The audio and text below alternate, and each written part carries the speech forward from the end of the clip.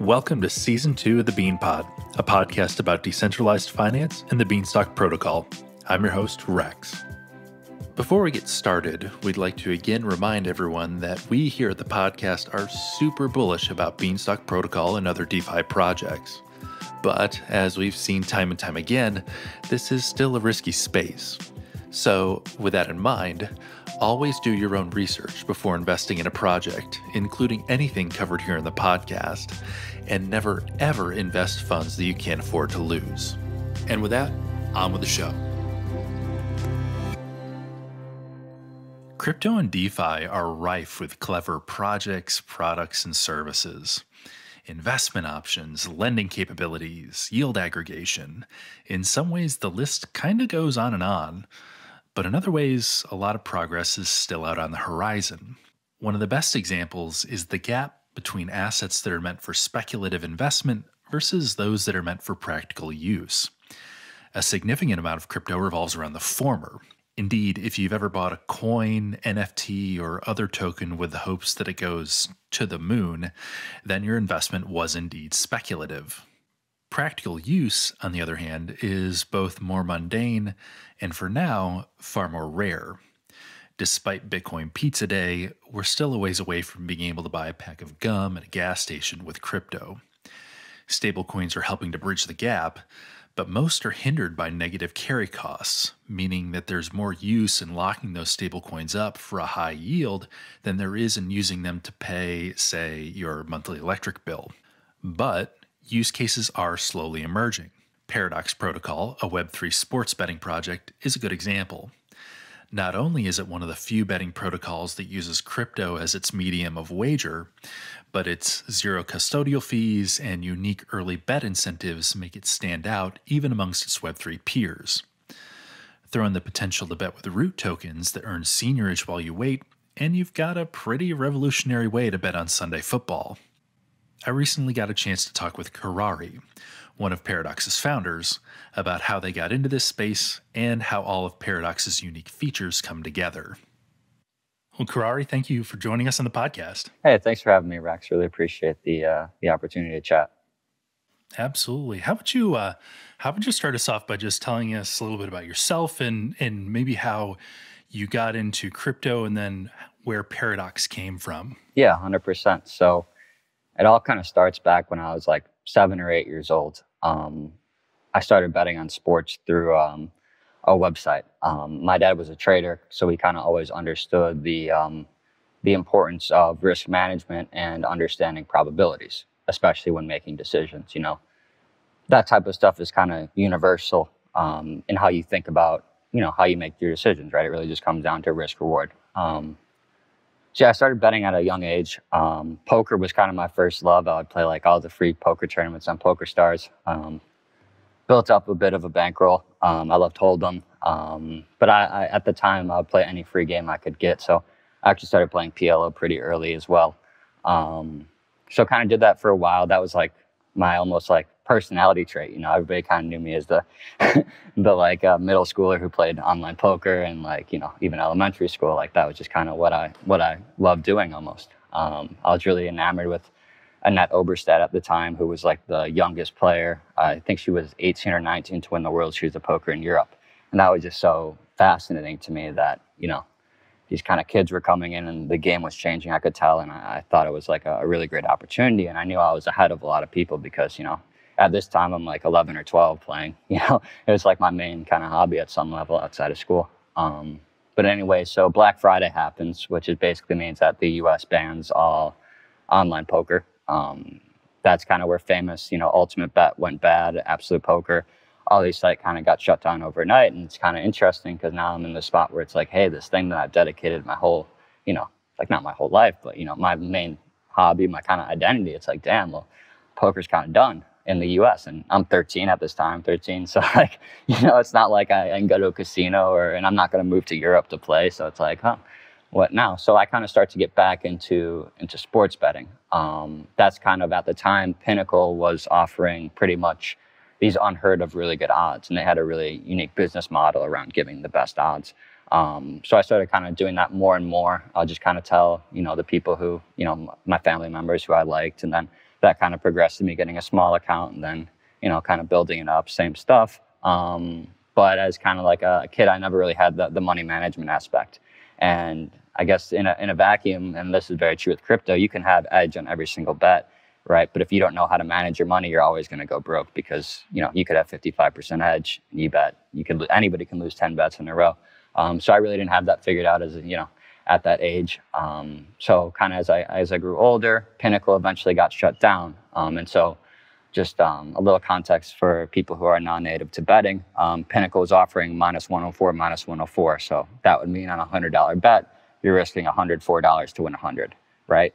When Pinnacle gets shut down in the US, now everybody's minus 110, minus 110. So now you're risking $110 to win 100, right? And that kind of difference is, is pretty large when you factor in that, you know, let's just say you're around break even at minus 104, minus 104 now you're at 110, 110, you're actually losing money, right? And I think that plays a really interesting role in identity as well, right? So you kind of go from someone who's making money with a hobby to, to losing money, right? In gambling, it doesn't have to be, you know, super black and white, you know, it's just you're spending time doing something. And I think there's a big shift. And what I kind of started to realize is, hey, I might be able to hang around at 0404, but I'm not going to hang around at 110, 110. And so kind of at that time, I kind of, you know, I was started to get into daily fantasy sports, um, Draft, DraftKings, FanDuel, um, that's kind of where my my attention shifted. And I did all right there. I was, again, I was pretty early, but again, you know, it just wasn't. You know, I wasn't a super big math guy. I wasn't a modeler. Um, so yeah, uh, by the time I kind of headed off to college, I was like not done with gambling, but um, I was kind of like, okay, let let's see what um, let's kind of open up a new chapter. Um, and kind of in between that time, I should say, I was a clerk on the uh, Chicago Board of Options Exchange while I was in high school. Um, and kind of through that experience, I learned that all these traders who were, you know, sitting in pits, you know, floor traders, they traded a lot of sports. They were constantly just trading, you know, are the Bulls going to win the NBA Finals? Oh, I'll give you 20 to 1. Oh, I want 18 to 1, right? And that's kind of when it really clicked that, hey, these people are all just betting with each other, right? And it was kind of surprising at that time, like, why hasn't this taken off, right? I mean, it's just more intuitive, more fun. Like, it, it's kind of the, the whole Uber, like, well, what if you just remove the middleman, you just connected people and you just kind of empower the consumer. And I just couldn't, for the life of me at the time, figure out why it wasn't a thing. So anyway, I go off to college um, and I get really involved in kind of, you know, I didn't really want to do a fraternity, so I wanted to kind of make my friends through doing clubs and kind of community service vibe. With the kind of base idea that, hey, you know, these are quote unquote good people. Like, say what you want, you know, they're dedicating their time to charity, they're, they're good people. Um, so I kind of did that for a year and a half. And kind of through that experience, I, I learned a lot about um, organizations. In some ways, a club that's raising money, you know, lots of money is kind of like um, a little bit like a startup, right? You have to think very strategically. All right, how are we going to raise this money? How are we going to, you know, mobilize people who want to help? Like it, kind of got got into that realm for me. Um, I was pretty involved in dance marathon at that time at University of Illinois, so I think we raised like three hundred thousand um, dollars for uh, the children's hospital. So kind of did that, and then I don't know. I just one night I was just kind of in bed, and I, I, didn't really know what I really wanted to do. Right? It was kind of like at this point at the end of sophomore year, where it was like, okay, hmm, I don't exactly have an internship lined up. I don't know if I want to do this charity stuff. You know, I don't really have any any obligations. I don't really know what I want to do, and I'm still trying to figure out what I'm passionate about. And I just get this idea, and it's like, you know, build a peer-to-peer betting exchange right? And so all of a sudden, I just as soon as I like hear the idea, have the idea, I just kind of cling on to it. I realize like this is what I want to do. This is I don't want people having power over me. I have this kind of mentality that if I never quit, I'm never gonna fail. And I'm just like ecstatic. I'm like just laying in bed, just like I figured out what I'm gonna dedicate my life to, right? And it's kind of like, you know, like eureka moment in a way where it's like this is and kind of the beautiful part about it is I at the time had this sense that I'm not going to stop this, right? Like nobody's going to be able to take this quote unquote away from me. Like I can literally do this forever. You know, there's not anybody who has power over me in the situation. Like if I want to do this the rest of my life, there's there's nothing stopping me. So that's a very you know liberating point. But at that time, you know, I'm like 19, maybe 20 years old. I, I've never really run a startup before. You know, like my business experience is basically I sold stuff on eBay. You know, growing up, like that's pretty much it. And so, but I kind of had this mentality again where I understood from pretty early on that I was going to have to learn by failing.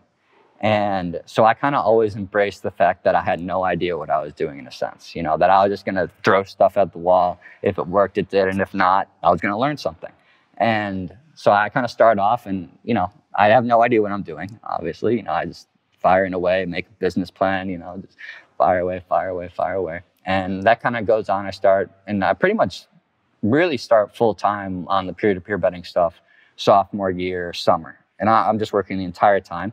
And that's kind of when I, I, link up with my co founder, even in Paradox today. Um, and what we talk about is, you know, we want to do this peer to peer betting stuff. And at this time in 2017, we're like, huh, how can we do it? So our first idea was, why don't we just do it on the dark net? just like this ridiculous idea, like we're to run a dark net betting site. Uh, obvious, obvious transition to dark. You know, like that's that's just what, that's what we got to do. Exactly, because you yeah. got to remember at that time, PASPA wasn't repealed. You know, there was no legal U.S. betting, so we were just like, all right, like let's just go on the dark net and run a betting site. Like, you know, we we didn't know what we were doing. Like, hardly knew how to code. Like, I didn't know how to code at all. Like, I, you know, I was like, oh, fuck it, that sounds dope. So we were like, all right, let's do that, and like, kind of like, all right, maybe like, you know, a few months in, we're like, all right, maybe this isn't the best plan. We're like, all right, let's take a step back and that's kind of when Ethereum was starting to get on people's radar. Um, and so we were like, let's build an Ethereum betting exchange, right? Use smart contracts, nobody has custody of the funds, completely peer to peer, which is the vision, leverage new technology. This is a lot better than a darknet Bitcoin betting exchange. So, like, all right, all in. So, you know, we started, you know, trying to figure out how we're going to do, you know, smart contracts. We, none of us really know how to code. We're just, you know, firing away, you know, just like, oh, we'll figure it out, we'll figure it out. So we kind of, again, it is pretty much our full focus for, you know, the next year. And we kind of get to the point which this is our first project. We know nothing about code. And we kind of reach this point where we realize, hey, this is the first kind of encounter we have about scalable code. And our code is not scalable because every single time we want to change something, something else is breaking. And it's kind of reaching this point where we're like, we can't get this product to the point that we need to because you know, if we change one thing here, that this other thing stops working. We kind of hit a wall. We kind of hit this realization, like, hey, this is not, this is not working. It's not reaching the point that we need to. It's not, it's not going to happen, right? Basically, essentially. But obviously, we're not going to quit, right? So we kind of find someone else. We're like, all right, let's let's have them work on it. And what actually ends up happening is that summer, we end up getting into Jump Trading's incubator in the summer of 2018 um, at the University of Illinois. We were very lucky that Jump, for whatever reason, kind of took a liking to University of Illinois very early on. Obviously, they're being in Chicago. Um, they had their own like kind of research lab space, and they ran an incubator. And you know, at the time, we'd been working on this for a year, and it was kind of for new projects. So it was like you know, kind of a perfect match. We kind of had a big edge over everybody else, and that everybody's coming with new ideas. We've been working about it, thinking about, it, obsessing about this for the past year. Um, so we end up getting in there. Um, we learn a lot about that experience. Um, it's a kind of our first time having money that we're using kind of to run a project. And quite frankly, we just don't spend it well. We're, we're just like, you know, kids, like we're teenagers basically. And we, we got some money, you know, nothing crazy. Like I think the first investment was 35,000 and then we got, you know, 35,000 follow up. But, you know, we just don't spend it well. Same kind of issue with code, right? This time we're working with, you know, developers at the university, but it's still not like, you know, you know, they're just not, there's a big difference between a freelance guy and someone who has actual interest in your project, right? And that's kind of what we learned that, hey, maybe the, the issue wasn't working with overseas developers. It was that, you know, these weren't in-house developers. So kind of same thing happens there, right? Like we kind of go, we go the whole summer, we're building the smart contract platform, you know, we're like, oh, we got it, we got it. And then we kind of reached the point where like, okay, like, huh, something's not right here. This is not working out. This is not going to work out. And we kind of reached that inflection point, and then we're like, all right, let, us pivot. Let's do a, let's take the front end and all this stuff, and let's remove the smart contract, and let's do, you know, Bitcoin betting. Like, let's just simplify it. We're just going to be a bit Bitcoin betting exchange, right? Low fees, commission. We still think we're solving the niche. It's still there. Woo, woo, woo. Um, and then you know we're, we're kind of like all right let's let's do that. We're going to restart. Um, but at this time we've kind of spent most of our money. We don't got a lot of money left. Again the developers not very you know again kind of committed big thing. Um, not super committed. Um, and so kind of cash is dwindling down the next of my senior year starts. So i go to this university of you know pitch fest thing and i basically kind of pitch without being signed up to pitch. I just show up pitch and I meet this guy, and it turns out he's just a great developer. and he's from Russia. He recently built, you know, at that time, an app that had millions of users. It was basically a, a VPN around um, Russia's block on Telegram, and they went super viral. They had lots of startup ex- experience, and it was a perfect match. And he kind of brought on his friend who also started that Russian company with with him, and um, kind of just locked in. And we we built the whole thing from scratch. We were like, everything we have is, is totally worthless. Like you're just like this code just isn't scalable. So we're like, all right, let's let's run it back. We're gonna we're gonna build it all over again.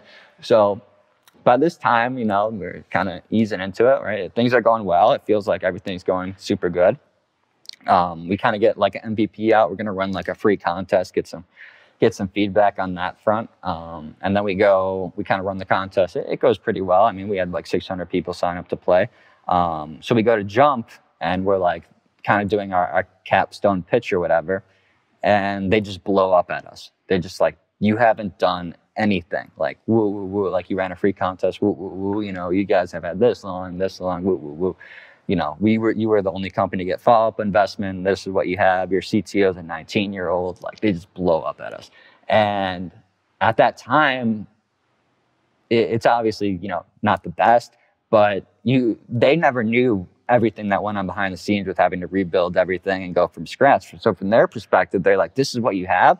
We're like, no, you don't get it. Like we built this in like two and a half months with like $15,000. Like we rebuilt everything and we got to this point. Um, but they were just, you know, they weren't impressed. Basically, would be the, the easiest way to say it. Um, and so they, we were supposed to like go out to dinner with them after, like, woo, woo, woo. like they were just like, no, don't, don't, don't, don't, don't bother, you know. so they're like, kind of like, fuck you. We're like, all right, all right, but so kind of we're in the spot where we like, all right, now what? We ran this free to play contest. I mean, it went all right. Like, what's our, what's our next step? So free to play contest basically ends, and what we realize is we have a ton of users coming in from Venezuela we're like, okay, why is that happening? Kind of like look into details. All right, like they all come like the last week. What's happening here? What's up? Well, the thing about Venezuela is they have no money, right? That's that's very important. Their dollar is basically like one dollar is now worth like, or I should say like ten million dollars is now worth like a dollar, like something like that. Like their money just got so inflated that their only way to send money to each other is crypto. Like because they're completely socialist now. So they're all waiting in line for food and they have literally no money. So that's kind of the situation there. And we kind of realized that, hey, we were giving out a $444 top prize. This is a lot of money to them, right? This is, you know, this is like very, very exciting. So we reach out to the people and we're kind of like, hey, you know, like we saw like a few of you were using the same IP addresses. What's up? You know, the, the first, second, and third place guy were betting against each other. Like there, there's something going on with like they're trying to finesse the contest with multiple accounts. And so we reach out, and the guy's just very honest. He's like, "Yeah, sorry, man. Like, I created multiple accounts. I found you guys on Google. Like, I apologize. You can disqualify me if you want. Like, I didn't, you know, I didn't know it was against the rules. Like that type of stuff." And we're like, "Oh, this is kind of interesting." So then we're like, "Okay, well, we need to do something next, right? We didn't really get too much proof of concept. Jump seems like they're not really into us anymore. What are we, what are we going to do?" And we're like, "Oh, let's build a free-to-play game for Latin America." And so we end up hiring the guy who cheated in our contest. He becomes like the only source of contact for anything in Latin America.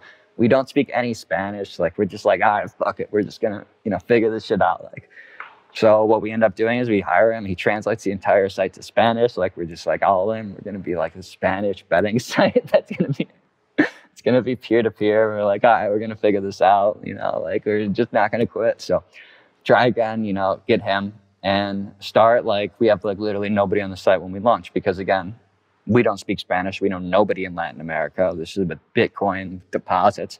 We're like advertising in this like this um spa- this venezuelan sports media site called leader Deportes like for like $50 like a month. And like we're just, we're just trying to figure something out. So I just end up going up on Twitter and just DMing everybody. I can the same Spanish message about like check out this free to play game. Like like our because we couldn't like make interesting tweets. We don't know spanish so like people would be able to tell that so we are like let's just copy paste google translate messages like come on like to influencers in the betting world that speak spanish from like mexico and all these places.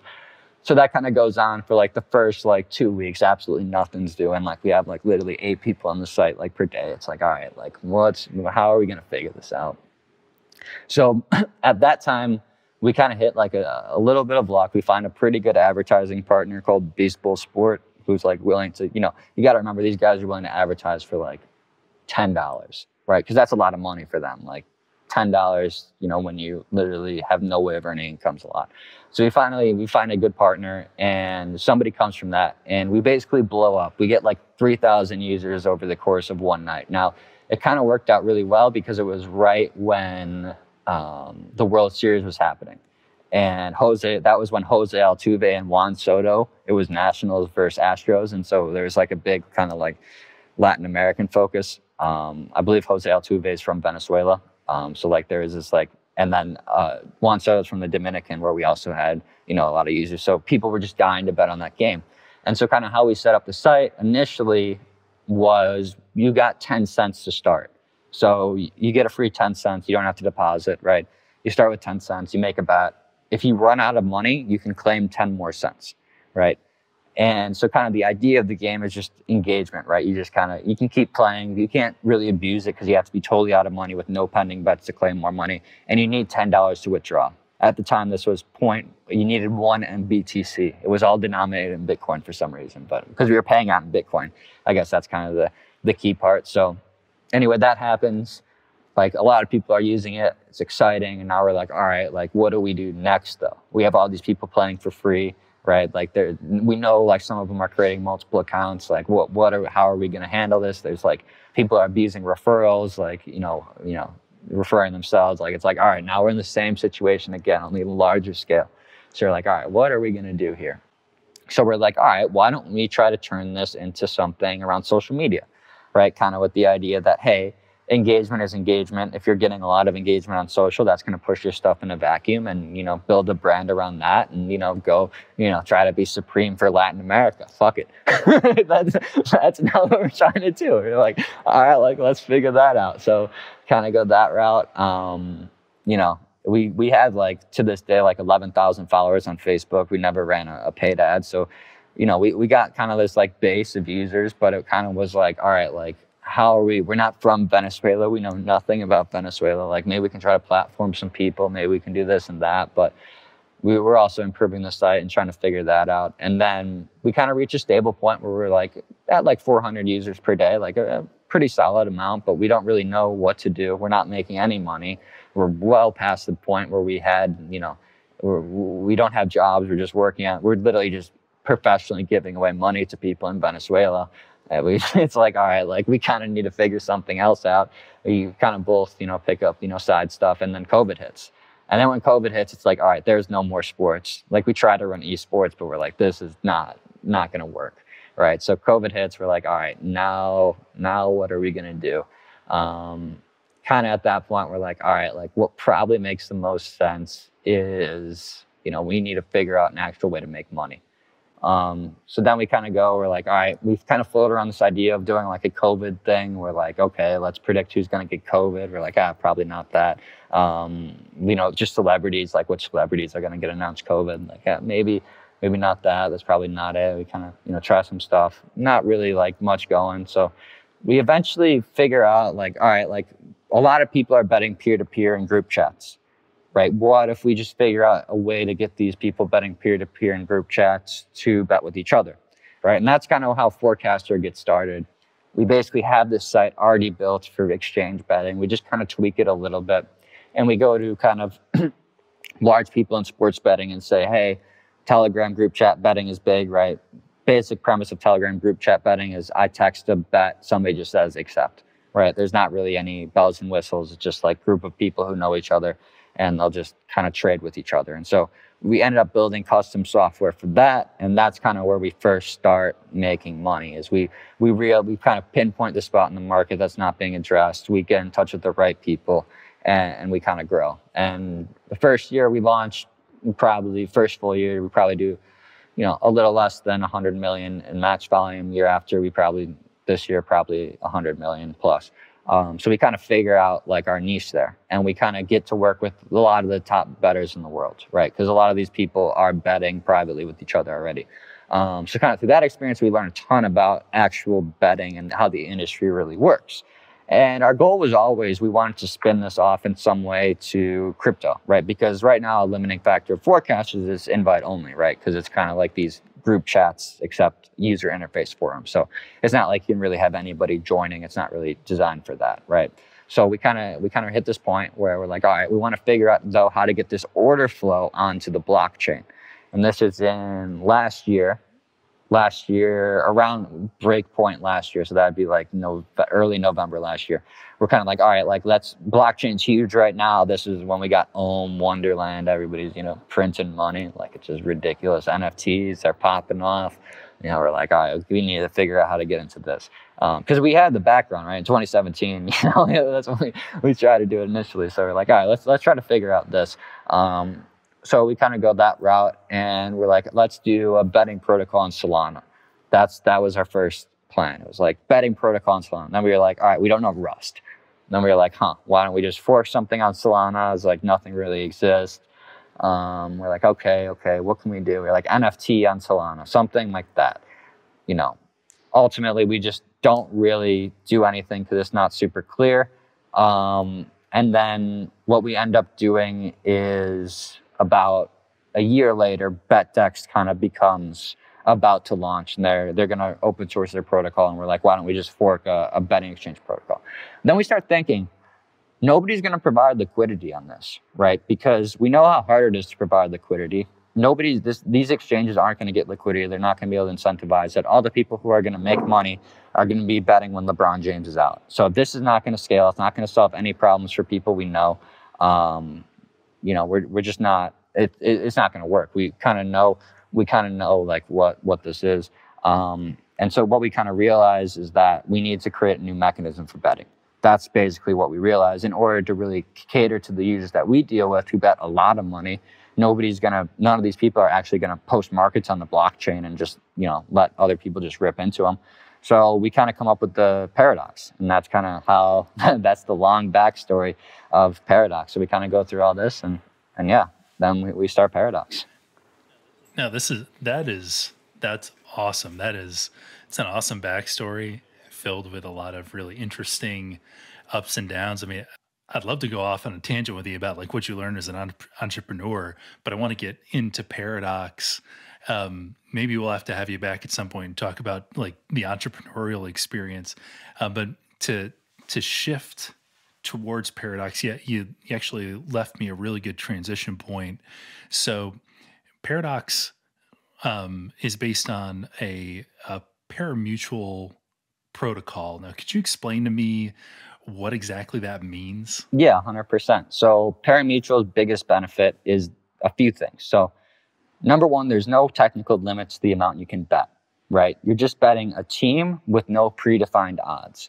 Now, the biggest benefit of that is kind of kind of twofold. So, number one, for liquidity providers or people making bets, they don't necessarily have to worry about moving their price, right? This is kind of a big friction point that a lot of market makers deal with, and why you know market making on chain with any size is so hard is you're constantly moving your price, right? There's kind of transaction associated with that. But on top of that, there's a lot of news that hasn't hit the market, right? So, for example, LeBron James is hurt. You know, if you're seeding any substantial size, you're just getting fucked. You're not going to recover from that. There's not going to be enough liquidity, right? So, we kind of initially we know that's not going to work. Like it's just nobody's going to want to book that other side. Nobody's going to want to offer make those markets, right? So then it's kind of like, how are these people going to be able to bet large amounts of money? Well, kind of the key thing and what we think about so cool about parimutuel is that the pools are always incentivized to rebalance right? So technically you could bet a million dollars into a pool right? And people are going to be incentivized to bet the other side given that let's just say the market thinks it's 50-50 but if you bet a million dollars it's trading at 0.01% right? So kind of the idea is that the market is always incentivized to rebalance back to kind of market odds but at the same time, you don't have to worry about these injury news or anything with adverse selection bias. Um, so it's really designed to scale peer-to-peer betting. Um, and then what we added to parimutuel, which hadn't been done before, was this idea of commission kickback. So the goal behind that was basically to incentivize people to bet as early as possible, right? Because why would anybody come into the pool early and just get uncertain odds? So what we basically did is traditionally the house takes a, a certain fee for running the pool we basically charge you know a small fee to the user and then all of that money gets distributed to the people who have previously bet. And again this mechanism is really designed to scale peer-to-peer betting um, and kind of service the type of people that we, we traditionally deal with on forecasters. So maybe a next sort of obvious question is how does how does Paradox make money? Yeah, so I think right now, like the real goal that we have is to create this um, betting community, right? Like this this um, open source kind of um, you know DeFi betting protocol. I think charging commissions externally is pretty easy at scale, right? We're not Snapchat or Facebook where it's like, all right, how are we going to figure out, you know, if people are betting, you know, billions of dollars, millions of dollars a day, it's not like how it's like, you know, how do you want to make money almost, if that makes sense. Um, and kind of the, the real goal with all of Paradox is really that it's community owned protocol. Um, I really kind of see, you know, starting it as like just like, um, like kicking a, a boulder down the hill ideally. And it's something that's just completely separate from us, community owned, um, and kind of just leave it up to the community to decide how they want to, you know, make money on this or, or use it. Um, I don't think it's necessarily meant to be, you know, um, obviously you don't want to charge. We don't want to charge fees right away, just kind of in general, like extract rent. There's no real reason to.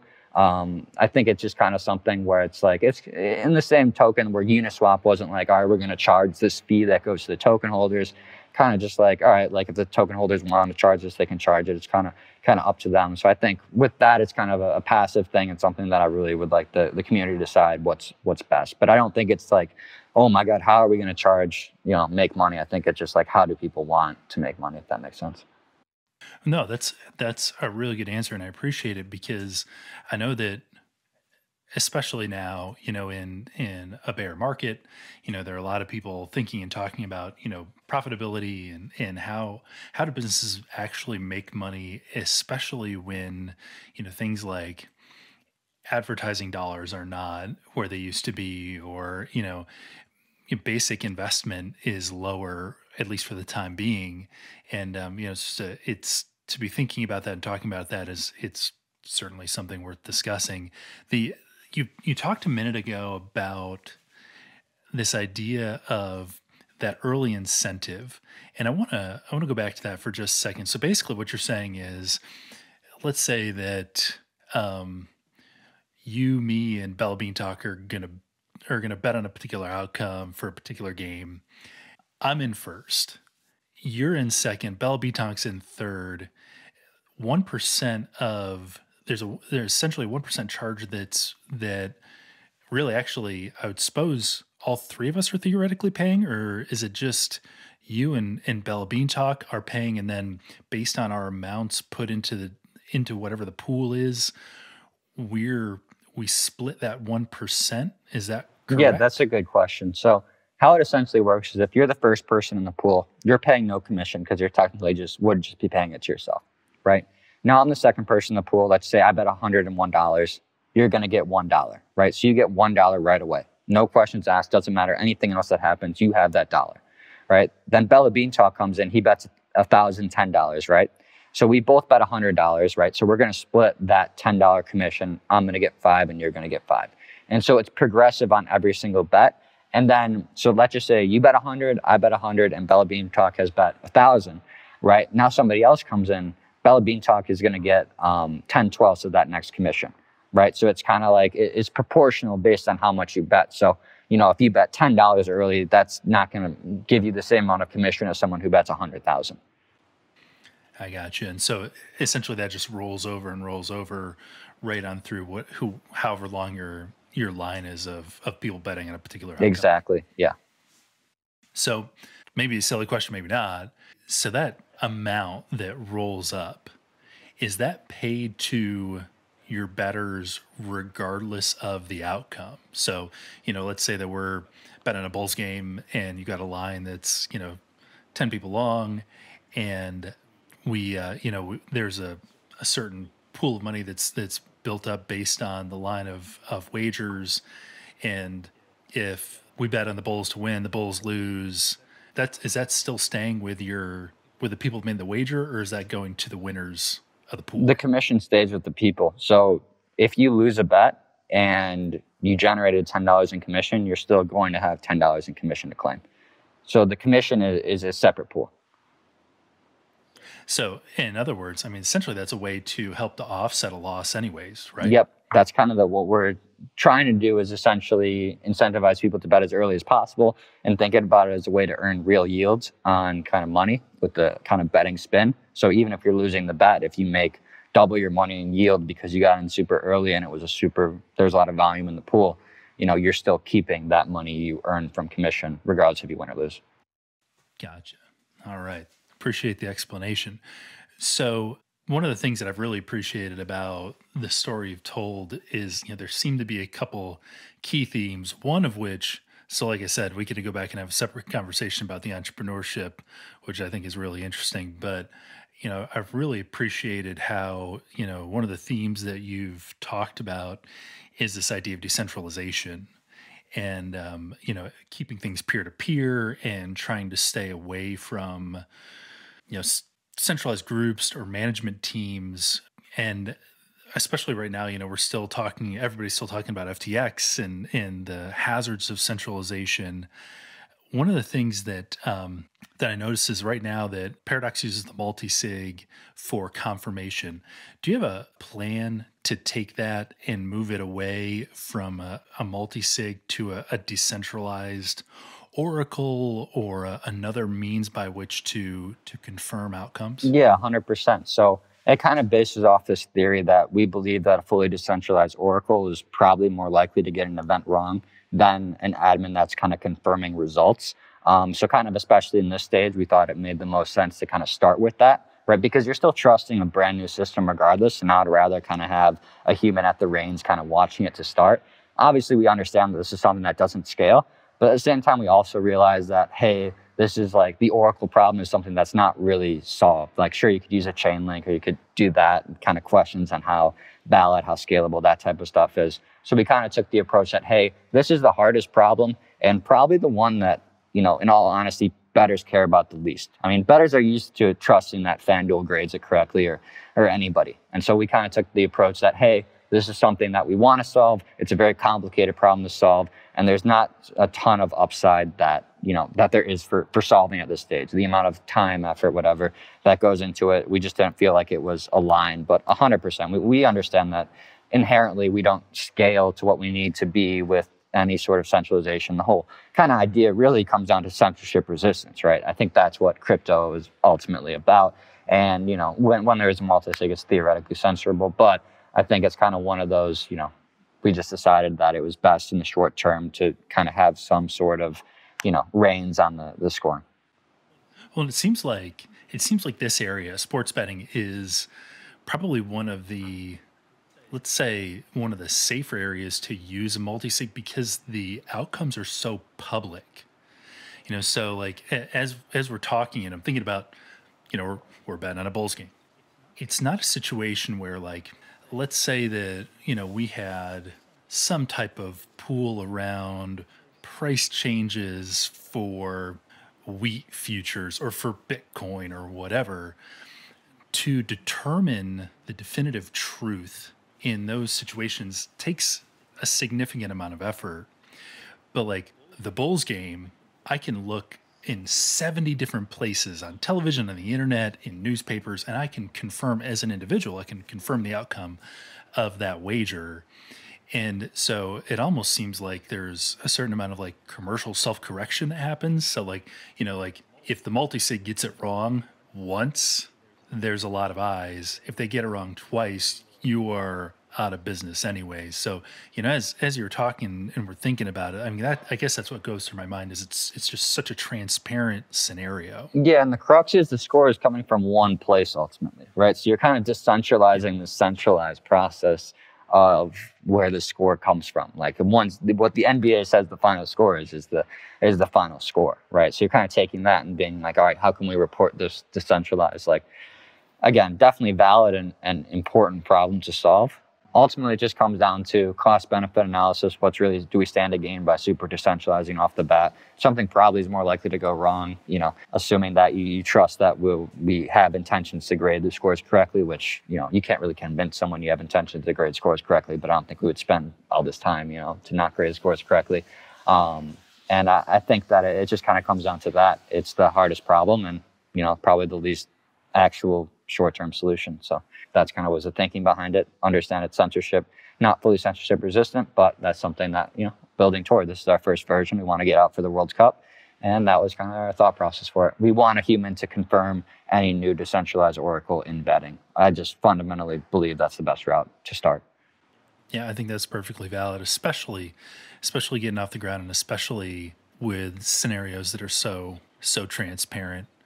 So I want to talk about root a little bit, and so for those who um, those of you that are listening that aren't particularly familiar with with the root token, so um, the root token is a wrapped silo deposit. So Beanstalk protocol has a number of tokens and it has a number of functions, one of which is what we call the silo. And when an individual deposits beans into the silo, um, that silo deposit is is locked until the silo deposit is redeemed for beans. While it's in the silo, it earns passive interest.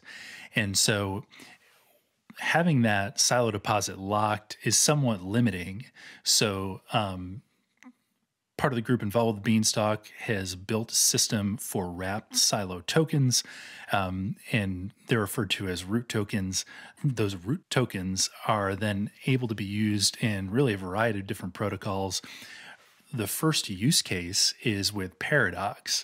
Now, Kirari, when it comes to root and Paradox, how are how are you using root tokens for specific betting scenarios? Yeah, so what I think is super interesting that root kind of taps into is this idea that I should be earning interest on my long-term bets, right? So kind of the, the basic idea is that you know root allows me as a as a user who's holding the root token to tap into kind of yields um, while I wait for a bet to happen, right? That's something that we think is a, a limiting factor in making these long-term bets that, you know, hey, if I have my money tied up for six months on who's going to win the NBA championship, right? I, I don't know if, you know, I, I could probably get higher yield than expect than my expected value, right? It's doing something else with that money. So Root kind of allows us to tap into this idea of giving people, you know, some sort of incentive for making a long-term bet.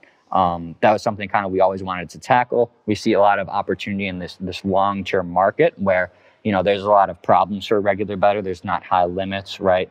You know you have to tie up your money for a while. There's high spreads, right? You're paying two times the amount of commission on a long term bet versus short term bet, like a regular single game bet. And so, kind of all those things combined made us think that, hey, the best route to go about this is to kind of incorporate some way to give people, you know, passive yield on these long term bets.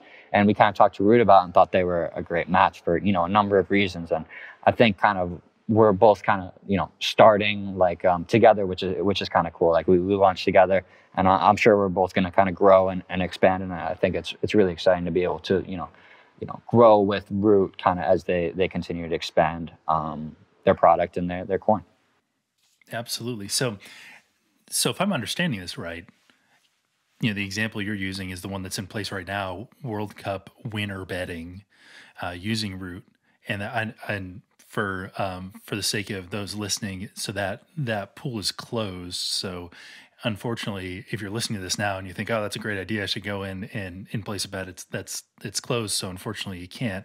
But the concept stands that you know we've got a contest that isn't going to be decided for a number of weeks, and so a couple things are occurring. If I'm understanding this correct, Kirari. So while while wager placing was open, while we could still place bets, if I'm the if I'm the first person that says Brazil's going to win the World Cup, you know, obviously a favorite, you know, I'm I'm putting my putting the first wager on Brazil as a winner. Every subsequent wager, I am getting that 1% commission or a portion of, I should say, that you referred to earlier so that's that's stacking up as as a commission since I was early in. And then now we've got a scenario where betting is closed, but between now and when that the decision is confirmed when you know whenever whenever the World Cup finishes and and a winner's decided, I've got the ability to earn passive yield on the root tokens too, right? Exactly, and I think that's pretty revolutionary. And you know, I think that that's something that I think will be more prevalent in betting as a whole, but it's not something I've seen done anywhere. And so it's kind of cool to be, you know, kind of tapping into that. And I think the timing was perfect with us and Root. And um, I think it's something that we're going to continue to do. And it's, you know, a really big long-term value add for the user because the pool that they can win is growing. Everything is is growing even when you're not doing anything. It's it's the same as sitting in the beanstalk silo, only hey, like you're getting entertainment value from it. And I think that's really cool. And I think there's going to be a number of different root use cases. I think this is just the the first of many to come. But I, I think it's um it's a, a super exciting project, and we're really excited to to launch the uh, the World Cup pool with them. So you and you'll have to forgive me. I am not. I'm green as a blade of grass when it comes to really any kind of betting. I like. Eh, this is new to me. Like I'm the guy that walks through a casino, loses a hundred bucks at a blackjack table, and says, "Okay, you know, I've had my fun." When when you think about short term or, or, or long term, let's stick with long term because we've been talking about root.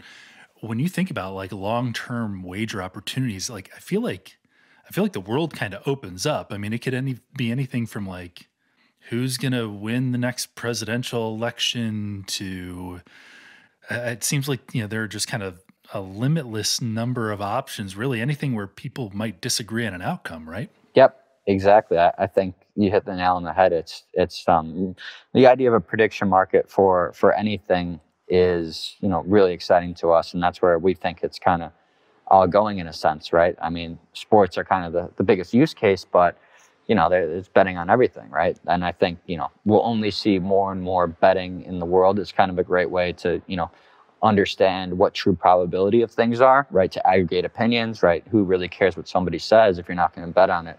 Is kind of the the idea. You have to quantify your beliefs, and I think that's the um, that's the premise that we're working on, and that's what we want to kind of bring to the masses. And you know, I think that um, the amount of markets that can be offered are, are really endless, and it's, it's going to be super exciting to really kind of scratch the surface on what what what the next generation of betting is really going to look like. Because I think it's going to be a lot different from what you see now.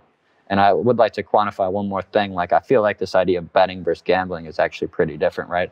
So if you go and play blackjack, you know, you go for 21, you know, you don't, you know, you don't have odds. Same with roulette. There's there's a built-in edge when you're betting, you could theoretically have value, right? There's people who, who make money betting, right? You're kind of playing in, in a market, right? The same with kind of the stock market in a sense. Um, although you could argue that's more positive sum, but but generally speaking, that there is, you know, you could have edge in these things where when you're gambling, when you're playing a casino, right, you're never going to have any edge. You know, you're not you're not spinning the slot machine, you know, and knowing that hey, you know, I'm going to actually might be having expected value here, right? It's just you're you're basically paying money for entertainment. I was just going to say that. It sounds like the difference that you're describing is if I'm going to a casino, I'm paying money to have a good time, knowing that most likely I'm going to walk out with quite a bit less money than when I started with. Whereas what you're saying in, you know, market making or in, in a betting scenario, you've got the opportunity to understand the parameters around the different components and make probabilistic decisions and potentially see positive value. Exactly. And I think you're, no matter what, you're contributing to kind of this human algorithm that is, you know, basically collectively pricing an event, right? And so I think that data in itself is valuable. Um, it'll be kind of valuable for AI in the future. I think that's, you know, it's kind of like contributing to the human collective consciousness at some level, right? Because no matter what, you're kind of giving information on what you're thinking about an event, which can kind of be tied, you know, to better predictions, right? I think if you you know who's betting what, like this and that, you know, you can kind of really start to refine, you know, what the actual odds are of something, and I think that's where it's it's all heading um, in the long term. That's very interesting. So to look specifically at paradox. So you know obviously we've talked about like how wide the horizon can be but like paradox i'm sure you guys have some pretty specific things that you're looking at in the near term. Obviously you got the world cup uh, going both the long-term winner um, wagers that have that have closed and then you know there's i'm seeing a handful of different games that are that are open um, that's you know basically just happening day by day. I'm seeing football uh, both NCAA and NFL games. What are what are you looking at in terms of your next opportunities? Are you looking at specific sports or other things? What's what's the vision? Yeah, I think um, the key thing that we you know are still working on. You know, we've been out for like a week is figuring out what exactly our niche is, right, or niche, or however you want to say that way. But um, I think that you know soccer and World Cup was like perfect timing to launch this because the biggest event in the world. But at the same time, this is the event with the most competition for betting, right? Because you're competing with attention for with all these different companies. And I think as we kind of head more and more into the future, you know, we understand how important it is when starting something, right? Same thing with forecasters is to fill like a specific niche right? And so kind of right now it's like cast a wide net. This is the event everybody wants to bet on. You know, maybe we hit a home run, maybe, you know, something that becomes really big. Or maybe, you know, we go through this, we pick up a few users, we take some feedback and we kind of target something more specific. And I think it's a, a play by ear approach. I think definitely World Cup is, you know, our focus for the next month, um, figuring out how to get as many people as possible into these pools. We think again it scales really well. So I think that's really cool. But at the end of the day, I think it's a it's a day by day approach with us really. You know, it's kind of like just tweaking some stuff, figuring out where, you know, the most demand for this is and then kind of go off. So answer the question and like I guess the simplest way is that you know, we understand that we want to fill like a niche and we don't fully know what our niche in the market is right now but i think that we want to continue to grow. That's awesome. I mean that's that's all you can hope to do and it sounds like because of how open the opportunities could be you've got a lot of different places that you could look for that niche. Again you know you know, we've talked about sports betting, but you know, that idea that, you know, any type of market making has that opportunity.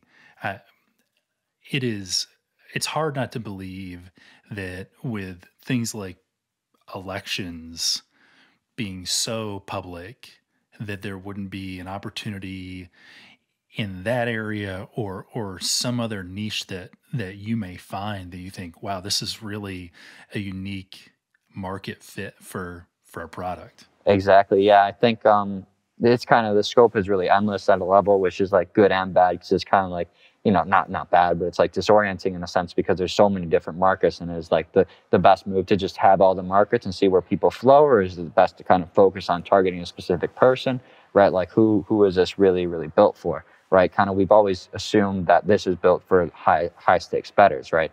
And that that kind of is, you know, that's the niche. Is like basically somebody who wants to bet a lot of money and doesn't really have a have a place to do it in a decentralized manner because you know we don't really believe that a decentralized you know there's there's really a way to do that decentralized.